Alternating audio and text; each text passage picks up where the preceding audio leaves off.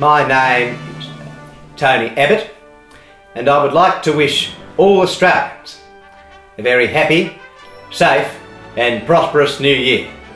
Apart from women, children, black, Chinamen, immigrants, and terrorists. Uh, pretty much only white Anglo Saxon Christian males in their late 50s.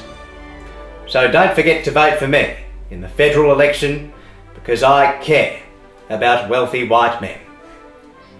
And Gina Rinehart, And money and lies. I think that's it.